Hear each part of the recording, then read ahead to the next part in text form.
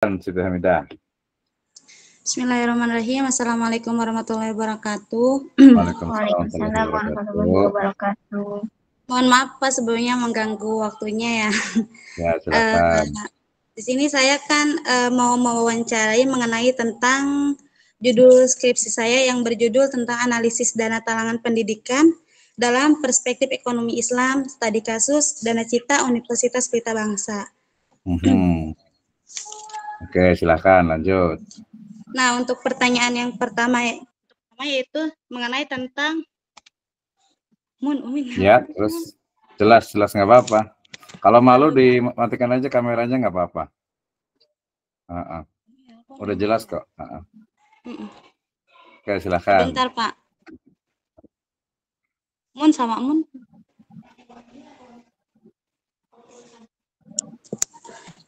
Sebentar, maaf Pak, sebentar.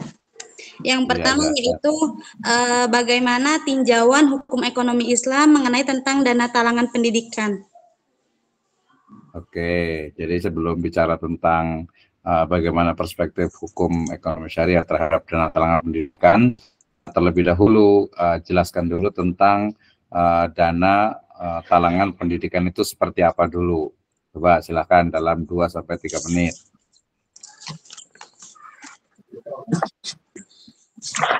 Ya, silakan.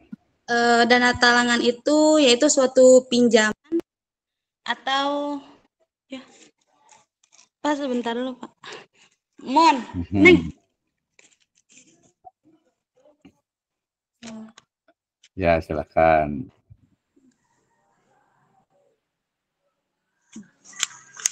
Maaf, Pak. Enggak sampai aja, enggak apa-apa. Dana talangan yaitu penyediaan dana atau tagihan yang dapat dipersamakan dengan transaksi multi jasa yang menggunakan akad ijaroh berdasarkan persetujuan atau kesepakatan antar bank dengan nasabah. Hmm. Oke, itu ya berarti ya. Iya. Jadi yang penting tadi berarti kan bicara tentang dana talangan uh, pendidikan ya ini sebenarnya tidak jauh berbeda juga dengan dana talangan haji dan lain sebagainya. Jadi uh, di mana ini menggunakan bank ya, bank atau BPRS sama aja sih ya. BPRS atau bank atau ini lembaga tertentu. Uh, kalau studi kasusnya ini Pak Dana Cita yang oh, lembaga. Cita ya. Uh, lembaga di. Oke, Dana Cita itu berarti lembaga kampus.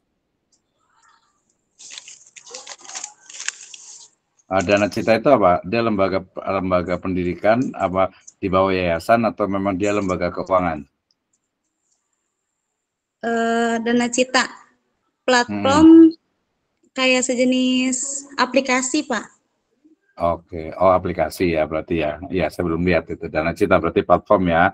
Kayak iya. mungkin ya, ya kalau yang konvensional itu pinjaman-pinjaman itu ya. Pinjaman online ya. ya. Oke, baik. Jadi pertama itu kita perlu perhatikan dulu tentang uh, tadi. Sebenarnya tadi uh, bahasanya bukan pinjaman ya, uh, bukan pinjaman gitu. Karena dia kan menggunakan dana talangan, kemudian akad yang digunakan apa tadi? Akad ijaroh. Iya, akad ijaroh ya, akad uh, sewa menyewa atau akad jual beli jasa kan. Nah, berarti uh, pertama tadi di apa uh, dideskripsikan dulu tentang dana talangan itu. Jadi uh, pertama itu uh, di biasa itu di bab uh, 2 ataupun bab 4 gitu ya. Di bab awal bahwa dana talangan yang dimaksud itu adalah ya pemberian dana pada misalnya uh, mahasiswa gitu misalnya gitu ya uh, dengan akad uh, ijaroh ya. Kemudian nanti uh, biasanya itu karena ada ijaroh berarti ijaroh itu kan dia sama dengan jual beli. Hanya ijaroh itu adalah jual beli uh, jasa atau tenaga gitu ya. Uh, biasa jasa atau tenaga bukan uh, produk gitu kan. Nah sehingga yang perlu diperhatikan itu adalah uh, pertama di bab dua itu kan dibahas semua tentang uh, ijaroh kan tentang ijaroh dari mulai pengertian ijaroh, kemudian sumber hukum ijaroh dari Al-Quran, dari hadis, dari itma, dari kias gitu ya, kemudian rukun dan uh, syarat dari ijaroh ya, kemudian juga uh, pembatal ijaroh atau akhir dari sebuah ijaroh gitu ya. Nah itu berarti uh, bahas itu nanti karena akan menjadi dasar bagi pembahasan di bab yang keempat gitu ya. Yang paling penting itu adalah rukun dan syarat ijarah ya. Rukun dan uh, syarat ijarah termasuk. Jadi ijarah itu kan uh, sebenarnya lebih disebut dengan atau jasa atau sewa menyewa bisa juga ya. Jadi bisa bisa eh, tenaga, bisa jasa atau sesuatu yang biasanya itu intifa atau manfaat atau bayul intifa. Nah, itu bisa juga disebut dengan apa? Eh, dengan ijaroh, ya kan? Nah, kemudian setelah kita tahu bahwa uh, dana cita ini dia memberikan uh, sejumlah uang ya kepada mahasiswa kita sebut gitu ya kepada customernya, kemudian uh, dana itu akan digunakan untuk misalnya pembayaran kuliah, betul seperti itu? Iya pak. Hmm, yang yang menggunakannya ini kan cashnya berarti mahasiswa ya? Mm -mm. Iya pak. Uh, mahasiswa, mahasiswa atau siswa atau orang tua? Mahasiswa pak. Mahasiswa ya. Berarti pihak mahasiswa itu akan diberikan uh, dana ya disebut dengan ijaro kemudian uh, apa nanti uh, dibayarkan. Biasa kadang langsung juga uangnya nggak ke mahasiswa ya. Langsung ke kampus biasanya ya Oke, pertanyaannya coba kita tes juga dulu nih. Akadnya itu kan jasa pendidikan. Jadi pertanyaannya itu apakah jasa pendidikannya itu adalah include, memang dia satu paket gitu. Misalnya uh, satu semesternya misalnya nih ya, uh, mungkin dia misalnya dana talangannya itu adalah uh, eh, 5 juta. Gitu kan, dana talangannya itu 5 juta 5 juta itu nanti akan dibayarkan kepada kampus ya. Uh, berarti dua semester kemudian nanti mahasiswa akan mencicilnya. Betul tidak seperti itu? Iya pak. Oke pertanyaannya uh, misalnya nih kalau dia itu 5 juta misalnya uh, ada tambahan administrasi nggak?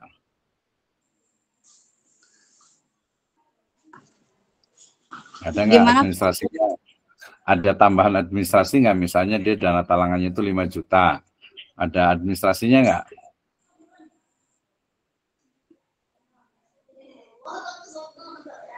Ada administrasinya tidak? Ada istilahnya ada tambahan tidak dari yang 5 juta itu?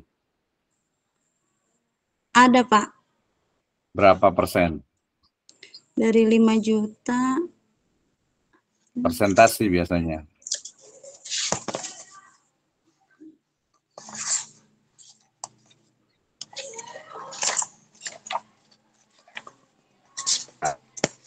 Jadi sebenarnya itu untuk menanyakan nanti memastikan. Jadi begini, yang pertama adalah ketika bicara tentang uh, dana tahan ini ya, pertama perhatikan dulu uh, jenis akadnya.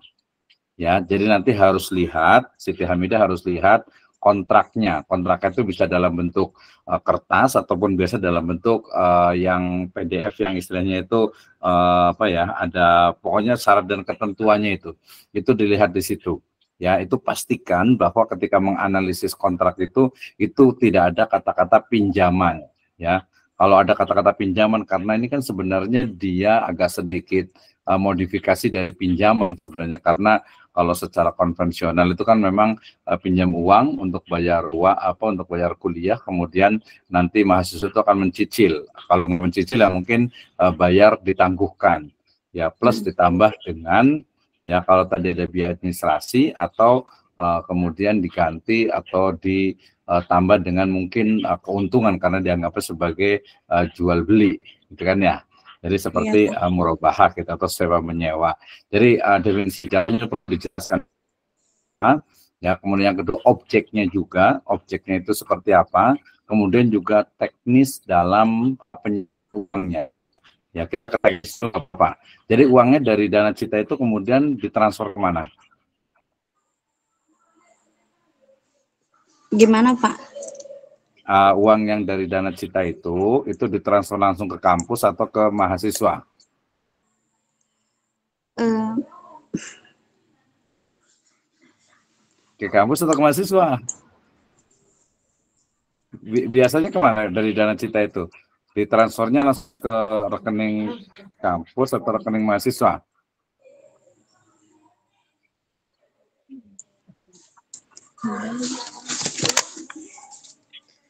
Ada nggak? Tahu nggak? Belum tahu Pak, kan soalnya uh... baru mau penelitian. Iya.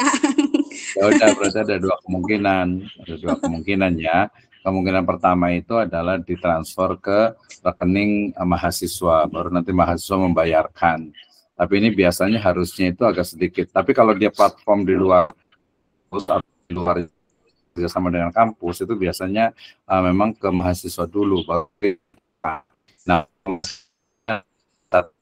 sampai ya uangnya itu uh, kelebihan atau dalam artian itu misalnya ditransfer 5 juta ya berarti di kampus harus 5 juta gitu ya. Tidak boleh uh, lebih gitu ya atau bukan lebih ya tidak boleh kurang. Karena kalau kurang yang di kampus berarti nanti ada uang yang uh, sisa yang tidak dibayarkan di kampus dan nanti oleh dana cita itu nanti dianggap sebagai semacam uh, dana talangannya juga. Nah, dalam hal ini berarti uh, ada satu istilahnya itu yang perlu dijelaskan kembali ya mungkin bisa jadi di situ uh, ke subhat gitu ya subhat yang perlu di, uh, dijelaskan itunya. Tapi kalau mau itu yang pertama. Tapi harusnya sih dia harusnya ya kalau yang mau syari itu dia uh, ditransferkan langsung ke kampus.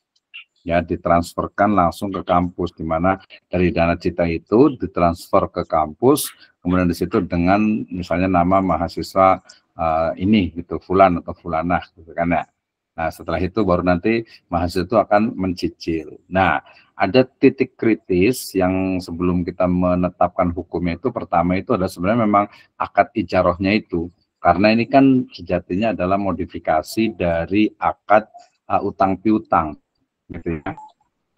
Yeah. ya. Jadi artinya kalau yang di konvensional kan uh, mahasiswa perlu uang untuk bayar kuliah, kemudian uang akhirnya uh, pinjam ke uh, lembaga, uh, institusi lembaga keuangan, institusi ataupun tadi yang uh, misalnya lembaga keuangan yang digital lah ya. Nah kemudian nanti akan membayarnya secara istilahnya itu apa cicil ataupun ditangguh dengan dengan bunga, gitu kan ya. Nah itu kalau yang konvensional. Nah, yang syariah karena memang multi jasa itu sebenarnya kan bukan akad ya. Multi jasa itu kan sebenarnya uh, akad yang kemudian digabungkan dari berbagai jasa yang mungkin untuk bisa dijadikan istilahnya itu uh, objek dalam akad. Nah, itu ya. Jadi uh, yang penting itu tadi pertama adalah dari sisi uh, transaksinya, akadnya, ya. Kemudian yang kedua itu adalah objeknya, kemudian uang yang ditransfer itu betul-betul memang digunakan untuk membayar istilahnya itu uh, uang kuliah. Nah, tadi adalah dari sisi uang kuliahnya itu. Jadi apakah pembayaran kuliah itu sama dengan istilahnya itu uh, barang atau jasa ya ataupun juga uh, istilahnya itu objek yang bisa dijadikan akad ijaroh gitu ya. Nah merujuk ke fatwa DSN MUI sih memang uh, diperbolehkan gitu ya. Uh, diperbolehkan untuk jasa pendidikan kemudian nanti ada uh, umroh gitu ya kemudian juga jasa-jasa yang lainnya itu bisa dijadikan istilahnya itu objek dalam akad uh, ijaroh ya. Sehingga kemudian ya hukumnya menjadi uh, boleh gitu ya merujuk ke fatwa DSN MUI ya.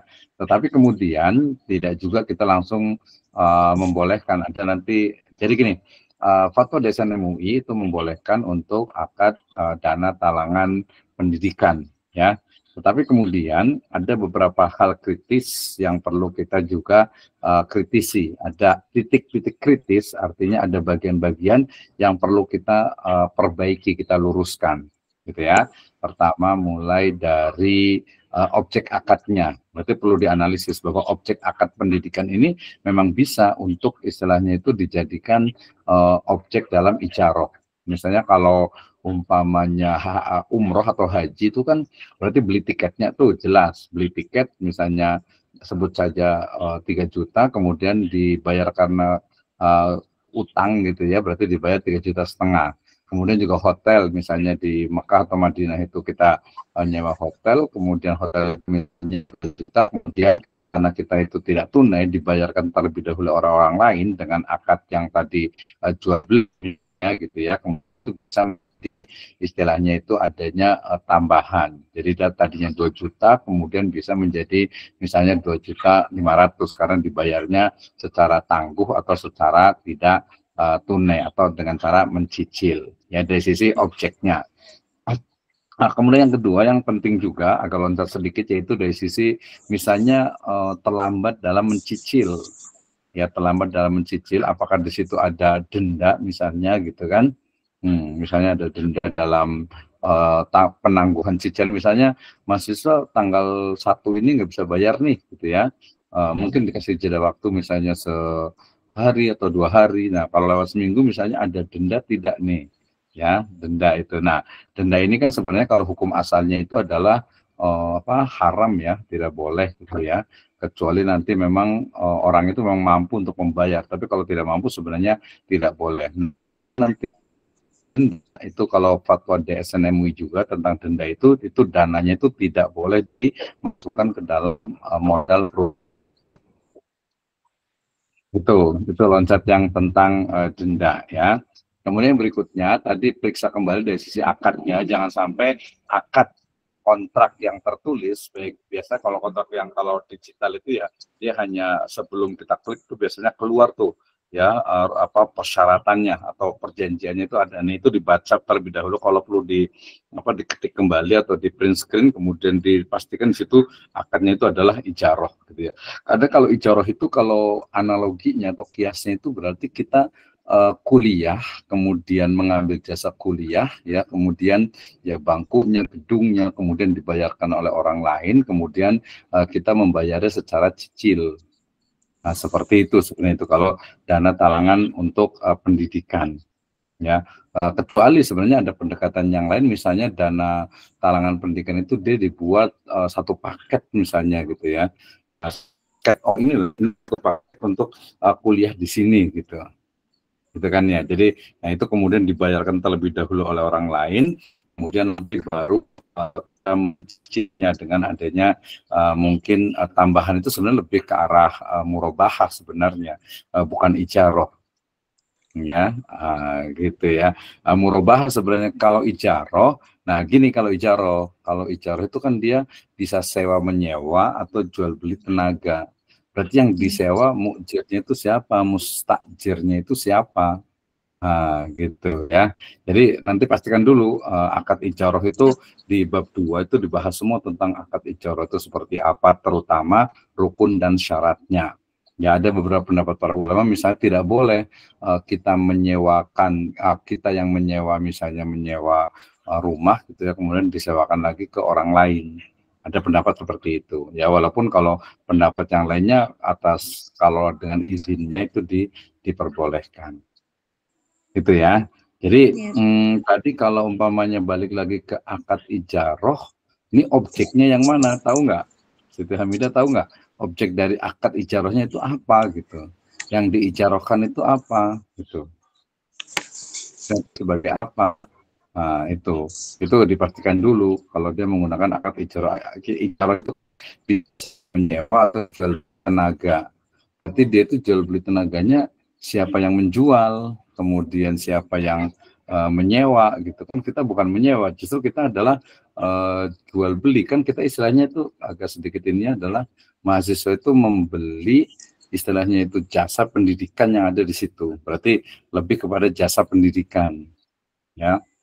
Jadi harusnya harusnya berarti uh, Dana Cita itu dia membeli jasa pendidikan yang ada di kampus, kemudian dia membelinya dengan harga misalnya misalnya 10 juta, kemudian dia nanti akan menjualnya kembali kepada uh, mahasiswa dengan misalnya 12 juta setengah dengan bayaran uh, cicil. Jadi objeknya itu adalah uh, jasa pendidikan. Nah, makanya jasa pendidikan itu harus jelas berapa semester gitu. Kalau saran saya berarti nanti jasa pendidikan itu harus jelas apakah satu semester atau dua semester gitu. Atau mungkin eh, apa UAS UTS kayaknya nggak mungkin ya. Minimal berapa biasanya untuk dana talangan pendidikan? Minimalnya berapa? Tahu nggak? Belum tahu, Pak. Loh? belum tahu sih. Harus cari tahu dulu. harus cari tahu dulu minimalnya itu berapa gitu nanti di itu kan aplikasi ya berarti aplikasinya iya. ya di dulu di aplikasinya di download kemudian nggak apa-apa uji coba aja jadi kalau untuk penelitian lebih bagus kita uji coba uji coba iya, itu maksudnya ya kita langsung menggunakan berapa jadi minimalnya berapa kalau saya khawatir khawatirnya itu uh, dia sama dengan yang pinjaman online itu nggak jauh beda atau mungkin seperti Shopee Pay Later itu gitu ya. Iya. Jadi ya apa ya, cuman dimodifikasi doang gitu. Hanya dimodifikasi dari yang konvensional. Khawatirnya yeah. seperti itu.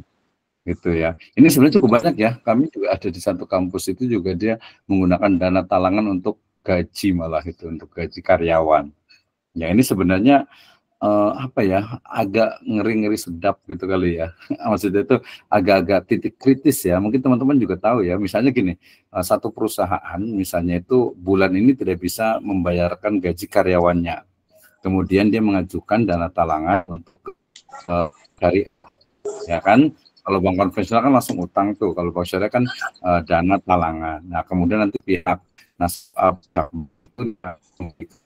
uh, sejumlah uang kepada perusahaan tersebut, kemudian nanti uh, misalnya misalnya saja 50 juta ya, kemudian nanti pihak uh, perusahaan itu nanti akan membayarnya baik secara tangguh ataupun secara tunai ya kepada nasabah tersebut uh, kepada bank tersebut ya.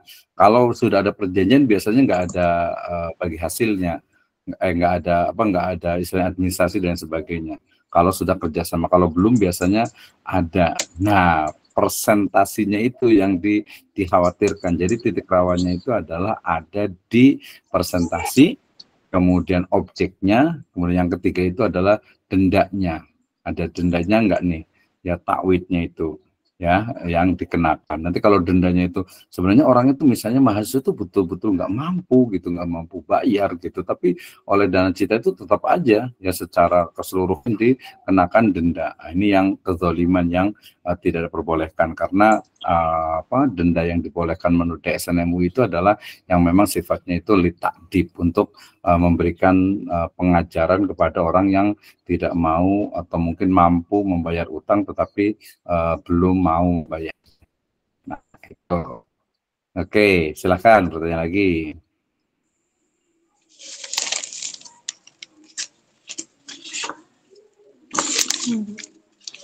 Ada lagi nggak? Silakan. Bagaimana hmm. mekanisme yang baik mengenai tentang dana talangan pendidikan? Oke, jadi mekanisme tadi sudah sebutkan sebenarnya. Jadi mekanisme yang uh, mungkin mendekati ya, mendekati syar'i, ya itu adalah pertama itu pastikan dulu objek dari akadnya. Ya, pastikan objek akadnya itu sudah clear, sudah jelas. Misalnya satu semester atau dua semester atau mungkin kegiatan apa ya KKM atau mungkin PLPK atau mungkin paling kecil itu UTS UAS mungkin gitu ya Nah, itu cukup jelas ya.